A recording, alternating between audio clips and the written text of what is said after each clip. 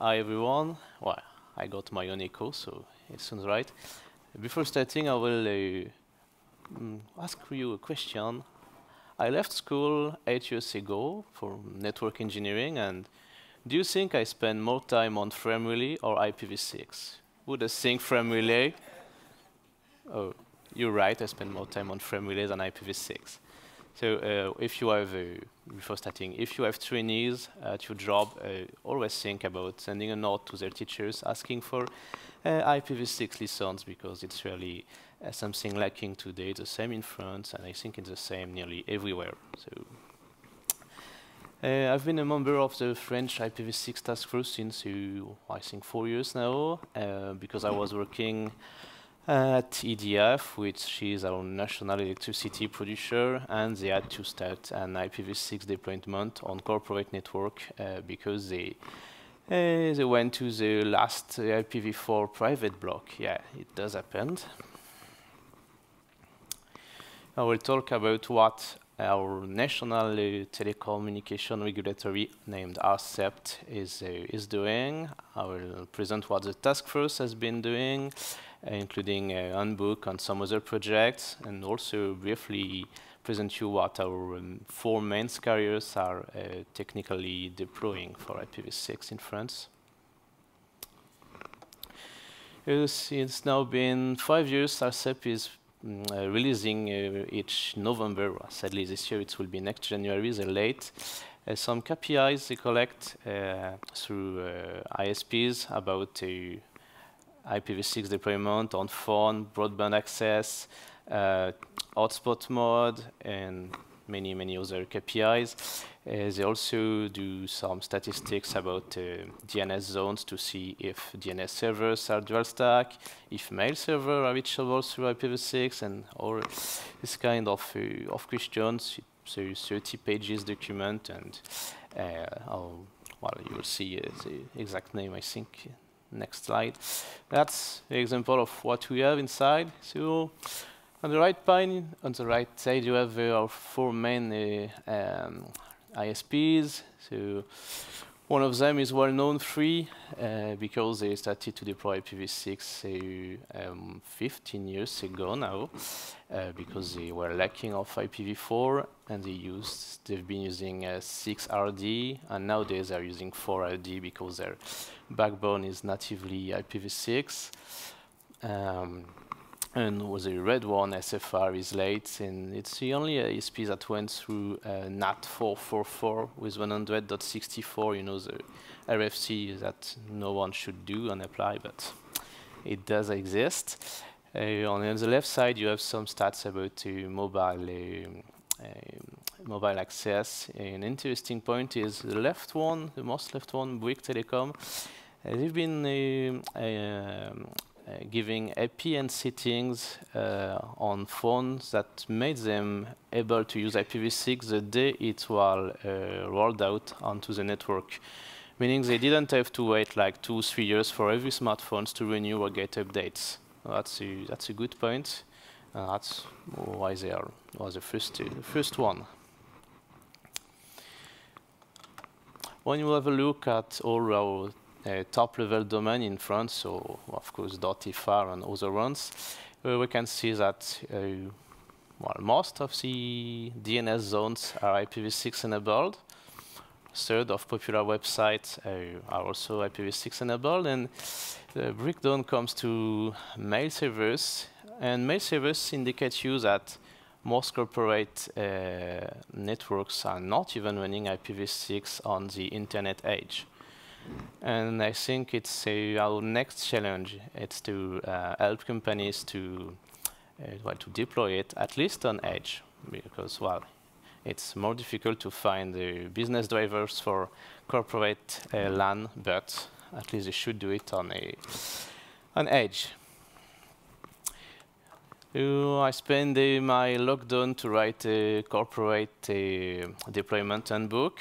it's available online and we will have some some copies here on site. It got delivered this morning here, uh, thanks to UPS routing. I don't know what they're using, but they're fast.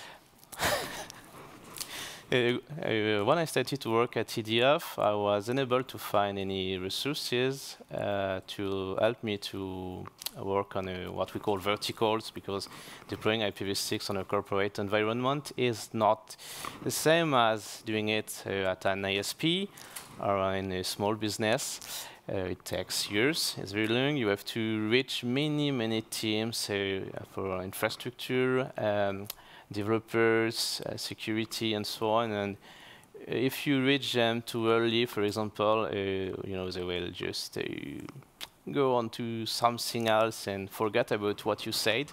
Uh, so you have the goal of the handbook is to help you to um, to plan your deployment and to give you many advices about security, about uh, network um, addressing planning, and of course uh, also about human weaknesses like training, like as I said, when to reach uh, people of different teams. Uh, so this book is open for uh, editing. So if one wants to uh, make comments or ask for a new uh, new sections inside, don't hesitate to write to me. You got the link below and the QR code on the on the right. And this uh, and this was done. Uh, this was released officially by the task force, and it was checked by our national regulatory. So inside, you will, as I said, you will uh, well, get to know when you when you need to reach people, uh, see what's which scope you need to deploy IPv6 on. So as I said, internet edge, facing resources, or internal uh, scope, um, and how to through layers uh, because uh, before uh, before being able to ask, for example, developers to qualify apps in IPv6, you already have uh, at least 18 months of work below. Uh, that's very, very, very long. And you have, as I said, um, uh, advices and best practices. For example, the security part, I think we got to 23 pages with the advices and explanations. That's a, well, a corporate network, you know, from very, very far away. Um, from my point of view, I think many companies should really now start to work on the right part, which is the internet side, so VPN gateways, reverse proxies, firewalls, public-facing DNS servers, um, all, uh, all this because the IPv6 become uh, so available that it's now a normal internet access. Uh, in uh, in France, last winter we went above 50%, so meaning that, for example, when you got remote workers that connect to your VPN, um, all of them could use a native IPv6, and uh, others are still using a only v4, but usually for them to use only v4 through well, CGNAT or other stateless mechanisms. Well, I mean, CGNAT, stateful, and there are other uh, mechanisms that we are using in France at your OSPs. On the left side, it's more complicated to ask a company uh, um, to convince them to deploy internally, but we have some use cases.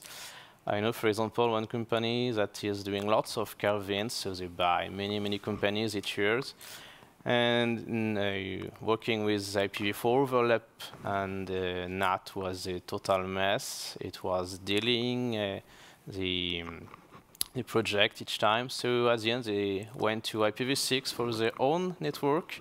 And now when they buy a company, uh, they let them use IPv4. They convert everything to IPv6. And they do it again because they always want to grow by buying other companies.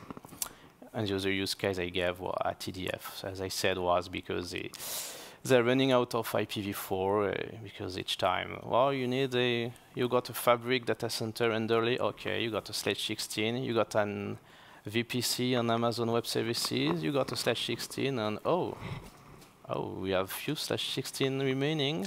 Let's try to do something else. Um, well, I think here, like everywhere else, we have uh, companies that are sometimes using uh, three, four times the same uh, IPv4 private subnets. Uh, well, we see it, for example, in, uh, in large banks, corporations.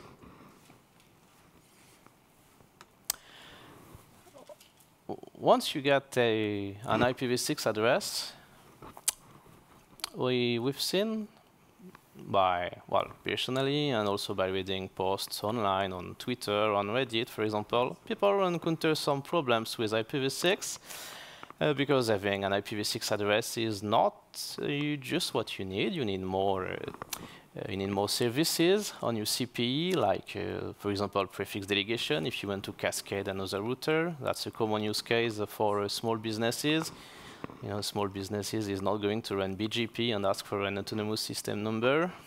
They already have enough laws to know about tax and so on. That's not their, that's not their job. Um, we have to be able to open dynamically ports, uh, so through PCP for usually. So again, this is not always present on a ISP CPEs.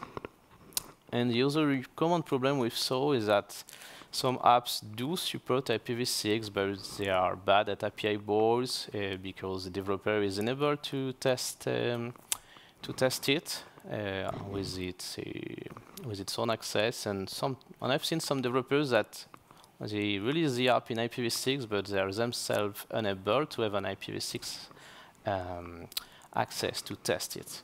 So they rely on commands from other users, and that's a and that's a problem.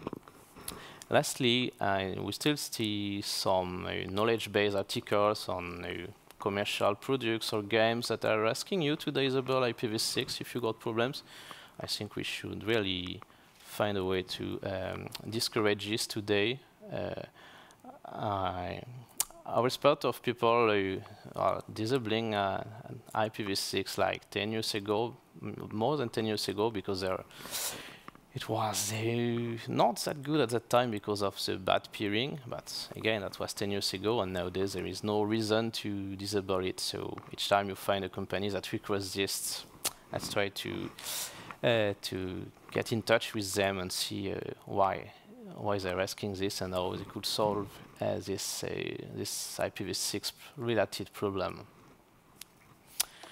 to help developers, so next task force project um, is to create a VP, uh, Docker image with a VPN, so uh, I think it will be a WireGuard one. And a management portal to let you uh, cut off IPv4, IPv6 to force triggering Happy Eyeballs. So it helps to, to check if all the failover delays and so on are working properly and then we will have to find uh, hosting services that do provide uh, IPv6 with uh, DHCP prefix delegation. So that's not very common, but we start to see some of them.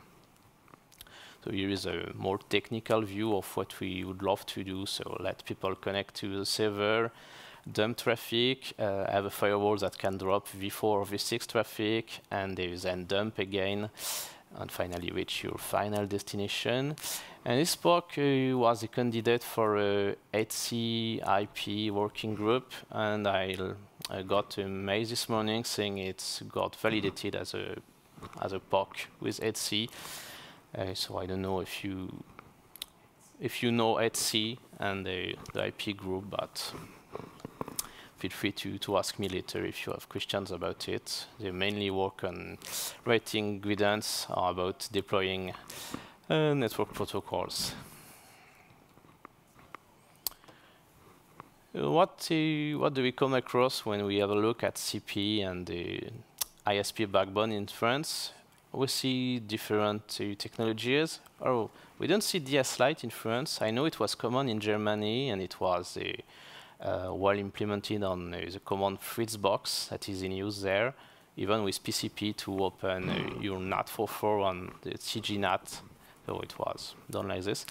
In France, we have Orange that is running a dual stack, and they are currently sticking to it. They have no plan to change, so they are running everything in, in dual stack.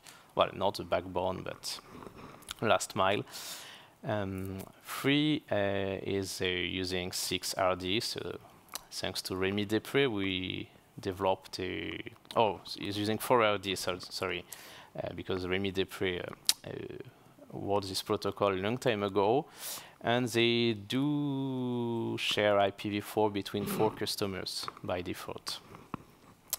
And Bouygues Telecom is using uh, MAPT. They're starting to deploy it, uh, and they share IPv4 between eight customers. So we have a, in, Euro in Europe, we have a, mm, a, guidance from Europol asking not to go over 32 customers. And I know in Belgium, they have a law that says 16.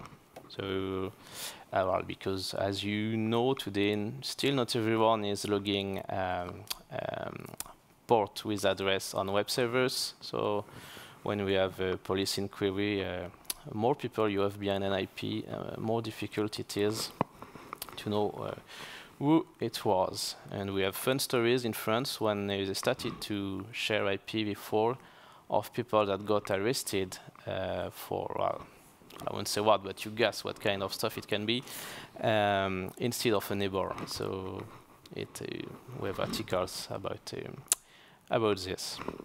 We would remind the ISPs to be sure that they offload uh, whatever transition mechanism they, they are using, uh, because otherwise you can, for example, have a nice fiber with a, a gigabyte access in IPv4, and if you're uh, IPv6, uh, for example, if you use 6RD, because you're not ready to do native v6, and you're running it through CPU, you might let people only use it at uh, 40 megabytes, and they, will say, oh, IPv6 is crappy. No, it's just because it was not uh, intended to be done on, on CPU when you have a TTH. For XDSL, of course, usually the bandwidth is uh, not that fast, so you've got no problem in using CPU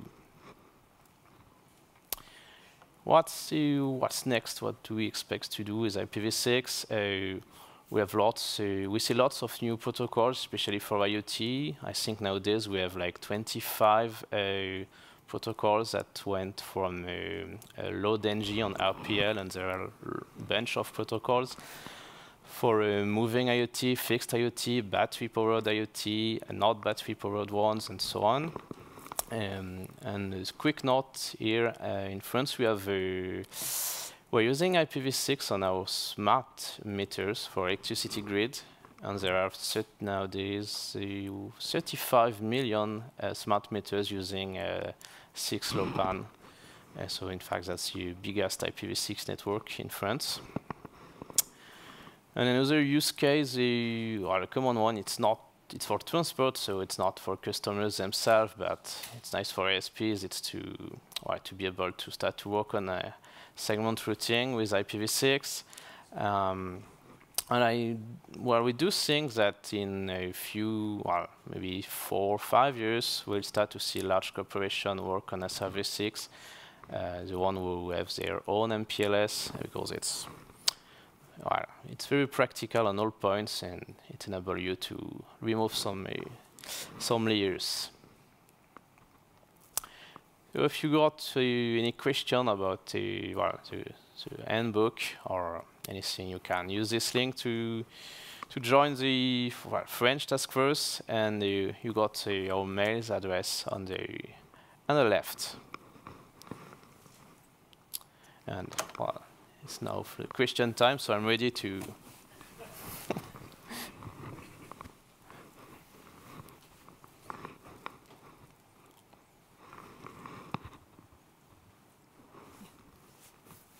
Wow, that that brings a box. because I don't remember seeing a line when we sang this morning about uh, basketball uh, problems we could have. Is this? There's a question. You, you, you say you're using Docker containers. Mm. I've had real trouble with the Docker community getting to understand what IPv6 is. So I'm really impressed you managed to do something about that. And most, most of the stuff on containers is really difficult to do. Well, IPv6... Sorry, you need to speak into the microphone. Yes. Oh, oh yes. there's a microphone. Yes, that's a microphone. Needs a label. I just wonder how, how, how complete that is. How, are, you, are you able to, to do things like Docker Swarm? Uh, in at the end of the guide, I wrote something about Docker, saying uh, that the IPv6 support came only one year ago, mm -hmm. and that's why this year we've seen, uh, well, Amazon, Google, and others starting to to roll out services in IPv6 because we all know they rely a lot on on Docker and Kubernetes. Um, we see some people that let you oh tell you oh well you can use you can use NAT66 Yes. oh yes a lot of that, yeah. yes we, we see this and um, I think people are not yet ready to have a, maybe a BGP process to announce a, a slash 64 directly for each container. We're doing this for pods, but and there is still lots of work to be I done. There's a, there's a big need for guidance to help software engineers understand that they don't need to use NAT because they Yeah. just automatically do it. Yes. In the example I gave, uh, as a goal is to provide a slash 64 to the WireGuard server. We know it's going to be very hard to find the hosting companies that do support this. So, so yeah, today sadly it's still a, well, still very difficult to use IPv6 with the, with Docker. You're right. Thank you very much. Uh, hello, congratulations. Google says that France is winning at IPv6. I don't think that's been stated today. That's Wow. really incredible. Well, you know, it's just because ISPs ran out of IPv4. Well, Eh, I- because we, we had these national ISPs and newcomers, and they're not enough IPs, so they had to share, and uh, that's why free started early, for example. so, so I guess that was my, my question is, is it a result of the, the France IPv6 task force? Sad- no, Sadly, no, no, no, no, no, the, no. Uh, the task, the, well, there, was a task force 20 years ago, another one. So this one helped to testing, and they actually went to release it on uh, the research networks or RENATER. Tim talked about it, uh, but ISP started very late. Uh, free at some point of their uh, life cycle went to 99% use of public IPv4 addresses and that's why the uh, World IPv6 out in five weeks in 2007, and uh, was I was customer at that time, and later they started to make it native to remove IPv4 from all the devices, and today it's an ASP that uh, engineers at this ISP have not seen any IPv4 on underlay or on backbone since six years, I think, five years. So, well, except for some uh, TV services, and because again, um, in KPIs ARCEP is doing, they don't ask for a voice and TV, and TV, but it's planned that they ask next year because we see that it's still difficult to do IPv6 with this kind of uh, of products. I mean, uh, well, well, I can talk for even common uh, meeting, online meeting tools. Uh, you know, they usually, even if they do provide IPv6, when you want, for example, to have a link between a, a local uh, um, media gateway and the and the cloud, it's only IPv4 and well, I can talk about Teams for not, uh, you know, saying the company name, but uh, well, that's uh, still a common uh, problem, and it's the same for ISP. They are unable to use TV and on phone system still today, but some of them are starting. I think Bouygues Telecom in France, they told me they are. Uh, it's not in production, but they are qualifying everything in V6 currently.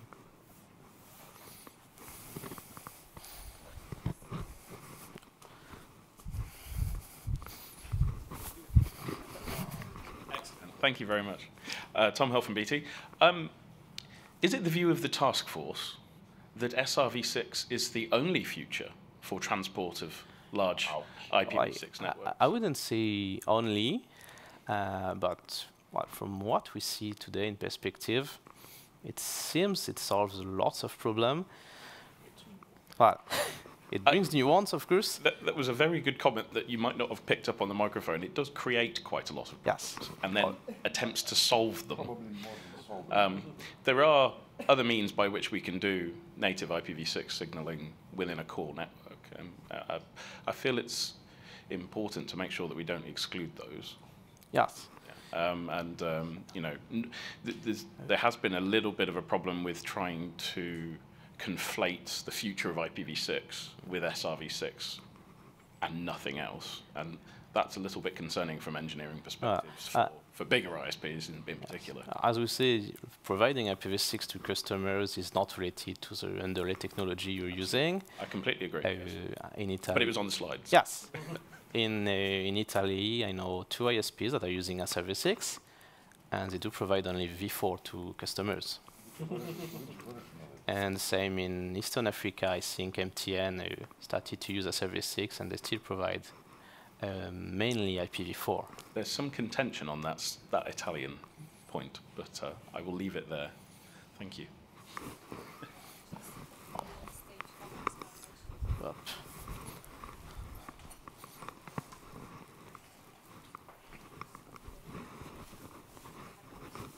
oh yes, let let's open this.